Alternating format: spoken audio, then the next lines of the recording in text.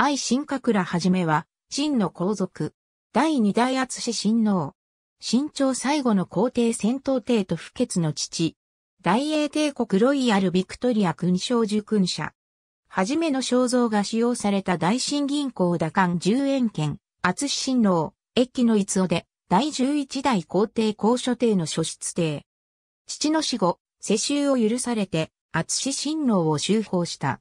父に続いて、生太公の信任を受け、義和団の乱後には、皇子殺害に対する謝罪師としてドイツへ派遣される。兄の公書帝が公書34年に死去し、長男の不義が戦闘帝として即位。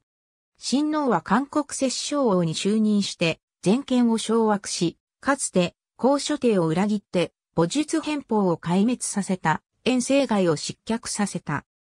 兄に協力して進歩派、改革派の立場にあったはじめは、革命の危機が迫る中で、従来の軍機ところを廃止して、内閣制度を設置するなど、改革の努力を続けたが力及ばず、1911年辛亥革命が勃発すると、公書帝の皇后であり、皇室の課長的な立場にあった高広大号の命令により、遠征外に全権を移譲せざるを得なくなった。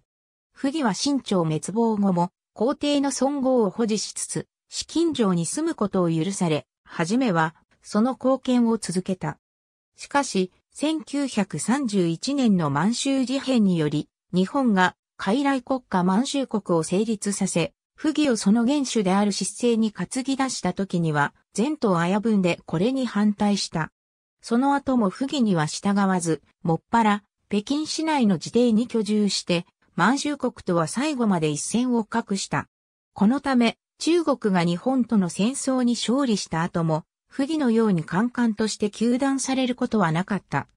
1949年中華人民共和国発足後も引退生活者としての生活が保障され、1951年北京でその生涯を閉じている。かつての厚志親王府は西側の庭園が後に総敬礼の皇帝となり、現在総敬礼国居として一般公開されている。東側の邸宅部分は国家宗教事務局、旧社と馬場は北京市第二老和学校に転用されており、新朝の大規模皇族邸がほぼ完全な形で残されている希少な例となっている。ありがとうございます。